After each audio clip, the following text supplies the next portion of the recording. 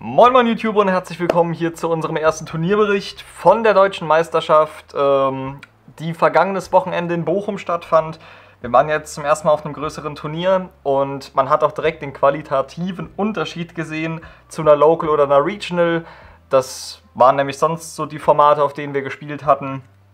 Ähm, ich werde euch heute auf jeden Fall mein Deck zeigen, aber nur kurz. Äh, kennt ihr ja. Ähm, dann meine Matchups und ein bisschen generell von meinem persönlichen Eindruck vom Turnier.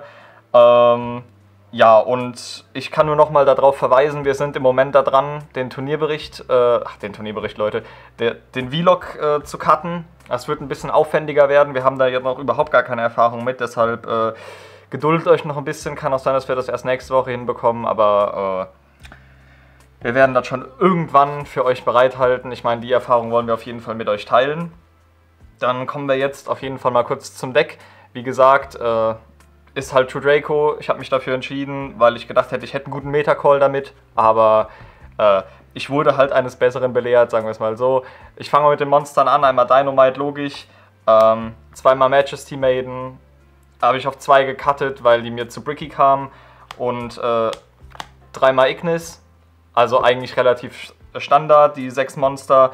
Ähm, ich habe mich jetzt dafür entschieden, noch zwei Inspector Border zu spielen im Main. Kam eigentlich auch nicht schlecht, aber ich habe mir von der Karte deutlich mehr erhofft. Also sie hat mich tatsächlich ein wenig enttäuscht, was die Tragweite des Effektes angegangen ist. Ähm, die meisten Gegner, wogegen ich den First Turn halt hatte, hatten halt Panker Drops, sogar im Main Deck. Ich habe gegen einen gespielt, äh, der hatte tatsächlich alles, was man sich an Backrow Removal vorstellt und an Monster Removal, was für Second eigentlich gegangen ist oder gedacht ist, hatte der Main Deck und es war halt einfach zu witzig. Also, ich werde sie sehr wahrscheinlich ins Side Deck tun und wahrscheinlich auch nur zwei Stück. Äh, ich habe nämlich noch einen im Side, wie ihr gleich sehen werdet. Also, das waren auf jeden Fall die Monster. Äh, zu den Zauberkarten Standard True Draco, äh, dreimal Heritage, dreimal Disciples und dreimal Darstellung das ist absolut das absolutes Standard. Äh, Würde ich auch keinem empfehlen, das äh, irgendwie auf geringerer Ratio zu spielen, ist einfach zu gut. Zu den Draw-Karten äh, zweimal Duality, einmal nur Pot of Desires. Dafür habe ich mich für einen Upstart entschieden. Warum nur einmal Desires? Weil ich mir gedacht habe, du möchtest in dem Deck eigentlich Desires nicht aktivieren. Du hast äh, genug Draw Power eigentlich schon so durch die ganzen True Draco Spells und auch hier durch die ganze Brigade, äh, die natürlich noch mit der besten Card of the Mice äh, ersetzt wird. Ziehe ich mal kurz nach oben. Ja, äh, auf jeden Fall dann lieber einen Upstart. Den könnt ihr dann noch mal so aktivieren. Kam eigentlich nicht schlecht, hat mich überhaupt nicht enttäuscht, also würde ich auch auf jeden Fall so weiterspielen. Ähm, dann zur, zur letzten Spell zweimal Terraforming, einfach weil ihr Diagram braucht und Diagram euer Spiel rettet. Äh, deshalb 5 Diagram Staple. Dann True King Return und dreimal Apocalypse, die beste Falle. Äh, fast schon im ganzen Turnier für mich gewesen. Also die Karte kam richtig nice, muss ich ganz ehrlich sagen. Ähm, dann, ich habe mich ja für die, für die äh, ja, Floodgate-Variante entschieden. Also ähm, Monarch Erupt dreimal, kam auch nicht schlecht. Ich habe mir aber auch wie beim Spectre Border ein bisschen mehr erhofft. Dann ähm, auch mit einer der besten Karten Imperial Order ähm, hat mir das erste Match gegen Mystic Mine gewonnen, aber da, dazu gleich äh, mehr bei den Matchups. Einmal Soul Drain, das war jetzt von mir eine persönliche, persönliche Tag. Habe ich mir gedacht, weil die meisten Decks im Moment in der Meta sehr auf den Friedhof äh, bauen. Ähm, kam eigentlich nicht einmal. Ich habe die ein einziges Mal gesehen. Da habe ich gegen Crusader Guard Dragon gespielt. Da habe ich sie dann halt nicht gebraucht. Äh, Würde ich auch rauscutten weil ihr generell gegen Orkus und so schon ein, gutes Matchup habt, deshalb braucht ihr die eigentlich nicht. Ähm, sehr, sehr gute Floodgate, es kann nur einen geben, ist, glaube ich, meiner Meinung nach auch die beste. Äh, und zweimal Impermanence, einfach um irgendwas zu haben, was auf Second gehen kann. Gut, das wär's zum Main Deck. Jetzt kommen wir noch kurz zum Side. Äh, wie gesagt, der eine Inspector Border, Metaltron fürs Mirror Match, dann dreimal Kugelmodus, äh, den ich leider Gottes nicht wirklich gesehen habe. Aber ja, was soll's, man kann halt nichts dagegen machen. Ne? Dein, äh, zweimal Mystic Mine, ähm, eigentlich nur zum Second gehen, habe ich ein paar Mal gesehen, kam aber eigentlich nie so wirklich gut. Also ich hatte dann nicht die passende Hand dafür. zweimal Anti-Spell gegen Sky Striker und Pendel.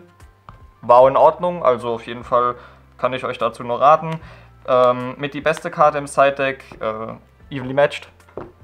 Ist einfach krass im Moment, outet im Prinzip fast jedes äh, Board von den Meta-Decks wie Orkust, Sky Striker, Salomon Great braucht ihr nur eine Negation rauszubaiten, dann habt ihr die halt äh, relativ out of resources gebracht mit der einen Karte und dann dreimal gegen evenly matched. Ähm, finstere Bestechung, Dark Bribe. Ja, kam auf jeden Fall in Klatsch, hat mir zweimal evenly matched vom Hals gehalten, also äh, eigentlich eine gute Karte. Ähm, kann ich euch nur empfehlen, die auch zu spielen. Äh, gut, das war's mit dem Deck. Ich erzähle euch jetzt mal kurz noch was zu den Matchups. Ähm, ich lege euch den Zettel jetzt einfach mal hier hin, egal ob ihr das seht oder nicht, äh, damit ihr irgendwas anderes habt außer die Matte. Ähm, Mystic Mine war die erste Runde tatsächlich. Ähm, erste habe ich dann mit 300 Life Points gewonnen, war eigentlich ziemlich cool. Äh, war das erste Mal, dass ich in Real Life dagegen gespielt habe, aber True Draco hat halt das beste Matchup von den Decks, die bisher jetzt rumlaufen so und ist einfach relativ easy gewesen. Beim zweiten äh, da seht ihr auch, er hatte noch 8000. Äh, das war dann halt ein bisschen, das war ein bisschen anders. Äh, er hat halt viel Fallen gehabt, öfter Dark Bribe gehabt und äh, ich kam einfach nicht durch. Ich habe die Mystic Mine nicht geschossen bekommen. War dann halt ein bisschen doof. Er hatte auch das Orakel, hat mir öfter mal dann äh, ja, schlechtere Karten, zum Beispiel wie das äh, There Can Be Only One, einfach nach oben gelegt, wodurch ich einfach dann nicht ins Spiel kam. Und die dritte Runde, da hatten wir gerade gesidet, da kam dann Deckcheck in der ersten Runde. Da habe ich mir dann auch gedacht, nice, erstmal auf der deutschen Meisterschaft und dann direkt Deckcheck in der ersten Runde, der dann 13 Minuten gedauert hat. Also das war wohl mit einer der Rekordzeiten an dem Tag für, fürs Deckcheck. Ähm, ja, wir haben halt auch alles noch drauf bekommen, also 13 plus 13 natürlich Overtime, aber man musste halt schon schön auf uns warten, weil wir die 13 Minuten fast rausgespielt hatten. Ähm, ja, ich habe hier in dem Game habe ich nur durch Imperial Order gewonnen. Er hatte nämlich äh, die Mystic Mine und ich hatte keine weiteren Zauberkarten mehr und da kam die Imperial Order im letzten Spielzug und dann habe ich den OTK gedrückt. Äh, kam also richtig in Klatsch, äh, muss ich ganz ehrlich sagen. Also Imperial Order immer noch Staple, nicht nur gegen äh, Sky Striker. Dann die zweite Runde, wo wir gerade von Sky Striker sprechen, habe ich gegen Sky Striker gespielt. Ähm, Sky Striker mit Mystic Mine äh, ja, erste Runde hat er mich halt outgrinden können, ähm, ging halt ein bisschen hin und her. Aber im Endeffekt war dann ähm, die Monster Reborn im Main Deck von ihm zu stark. Äh, sie hat dann einfach ja, ein Ignis genommen und dann Doral Sword und über meine Monster drüber gelaufen, Diagram vorher geschossen. Da war dann nicht mehr viel zu machen. Und die zweite Runde war ziemlich interessant. Ich habe Metaltron gebaut, äh, der war dann unaffected von allem. Und der kam natürlich nicht rum, außer mit Doral Sword. Heißt, er hat immer Hayate beschworen und hat dann für 1,5 direkt angegriffen. Ich habe dann über sein äh, Sky Striker Link Monster angegriffen, also auch 1,5 Schaden und das ging dann immer so weiter. Ähm, das Problem war halt nur, er hat zuerst angegriffen gehabt, heißt, äh, er hat dann auch zuerst den finalen Schlag setzen können. Ich habe leider keine Monster nachgezogen, sonst wäre das wahrscheinlich für mich ausgegangen. Aber es war trotzdem ein sehr lustiges Duell. Ähm, ja, war eine schöne Erfahrung, das mal zu sehen, wie Sky Striker immer noch grinden kann. Äh, dann das dritte Match gegen Danger Orkust. Ähm, erste Runde habe ich relativ easy gewonnen durch äh, There Can Be Only One und äh, Inspector Border zweimal, also jeweils auf der Starthand. Da war für ihn kein Durchkommen. Nach dem Siden äh, habe ich dann gescoopt, weil ich nicht um sein Feld rumkam. Ich hatte überhaupt keine Going Second Karten gesehen, die ich reingesidet hatte. Äh, war ein bisschen traurig, aber so ist das halt, ist halt ein Kartenspiel. Und bei der dritten Runde, da muss ich, muss ich ganz ehrlich sagen, da habe ich mit eins der größten Missplays gemacht, die ich bisher gemacht hatte. Nämlich habe ich, äh, ich kann euch die Situation gar nicht mehr genau erklären, aber ich hatte Monarchs Erupt, einen Ignis und einen ähm, Inspector Border und habe irgendwie aus Panik die Monarchs Erupt zu schnell geflippt, womit ich dann den Effekt von Inspector Border negiert habe. Und dann war eigentlich auch rum, weil er dann einen Penka-Drops hatte und es, es war einfach nur dämlich gespielt. Das war so ein Missplay, was euch eigentlich nicht passieren sollte, vor allem nicht auf der DM. Ähm, aber naja, gut, was soll man machen? Ich war auch ein bisschen natürlich aufgeregt, war das erste größere Turnier von mir und äh, war aber auf jeden Fall ein korrekter Dude. Äh, wo dann auch, ähm, glaube ich, äh, im Swiss war er dann Achter am Ende, also erfolgreich. Nochmal Gratulation an ihn. Ähm, dann Runde 4 gegen Crusader Guard Dragon. Erste Runde habe ich halt Floodgates gelegt, er kam nicht rum. Zweite Runde hat Ehrenfeld hingelegt, ich kam nicht rum. Äh, und dritte Runde habe ich ihn OTK, er hat ein bisschen gebrickt, äh, noch ein kleines Missplay gemacht, aber äh, ja, er hat dann gesagt, ja gut, äh, ich riskiere es mal. Ich hatte halt zwei Monster auf der Hand und zwei Diagram. Ähm, das war dann halt GG. Mehr kann ich dazu nicht sagen. Ähm, dritte Runde, äh, fünf, fünfte, Moment, ja, fünfte Runde, hier steht zwar Runde 4, habe ich gegen. Oh, Moment mal kurz. Oh, okay, habe ich mir doppelt aufgeschrieben. Sehr gut, Leute. ähm, auf jeden Fall fünfte Runde habe ich gegen True Draco ähm, Extra Deck gespielt. Also ein ja, halbweges Mirror-Match. Es war richtig nervig. Ich hatte angefangen, natürlich. Ähm, und naja, der Gegner hatte halt nicht so viel. Ähm, natürlich bei True Draco Mirror Matches ist es immer schießen, schießen, schießen, schießen, bis dann einer irgendwann keine Ressourcen mehr hat. Das war halt übel lustig. Ähm, ging dann bei beiden ersten Duellen so und beim zweiten, da kam dann halt einfach äh, die Waking the Dragon in Clutch. Ähm, der hat dann den ultimativen Falken gerufen und dann war halt Ende. Ich meine, da kommt man sehr schwer rum äh, in True Draco in der puren Variante und da hat er deutlich einen Vorteil gehabt. Ähm, und dann das letzte, die Runde 6, nach der ich dann auch gedroppt bin, ähm, auch gegen True Draco gespielt. Ich habe mal gedacht, ich würde irgendwie gegen Salomon Great spielen oder so, aber es war halt nicht der Fall. Ja, ich habe mir noch nicht mal was aufgeschrieben, aber es war richtig nice. Erste Runde habe ich, glaube ich, gewonnen. Äh, zweite hat er gewonnen und in der dritten Runde hatten wir dann beide den Metaltron. und ich habe das Missplay gemacht, dass ich den Metaltron ähm, gegen Spells unaffected gemacht habe. Habe ich dann noch mit den Jungs von Herz der Karten noch kurz besprochen, als wir die noch getroffen hatten. Äh, da ging dann die äh, Hand vom Robin auch nur in die Facepalm-Position. Es war halt einfach total dämlich. Äh, aber naja, gut. Ich meine, das Missplay werde ich nie wieder machen. Also, es war auf jeden Fall witzig.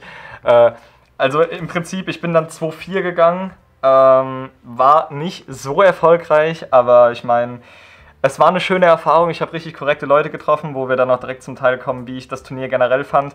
Also für das allererste große Turnier fand ich es richtig klasse. Ich habe richtig Bock darauf, nochmal auf ein größeres zu gehen. Ähm, auch wenn es jetzt eine YCS wäre, ich wäre auf jeden Fall dabei.